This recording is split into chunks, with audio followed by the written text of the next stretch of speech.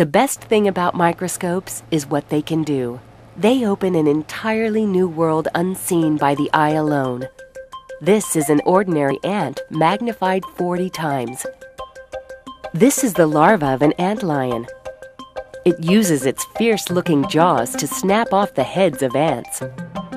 This is the larva of a moth. This is a fruit fly, commonly known as a gnat.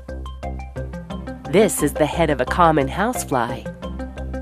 The multifaceted eye of a crane fly. The mouth parts of a grasshopper. The clubbed antenna of a beetle. Compare it to the feathery antenna of a moth.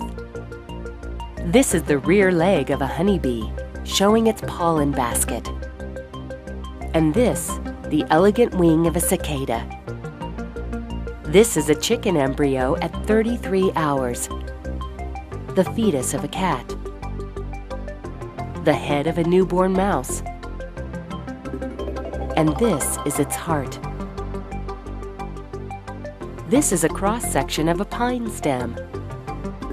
And this a tiny water organism called a Daphnia. These are salt crystals magnified 100 times. Many household chemicals are crystals, and after they're dissolved, some form beautiful patterns as they reform.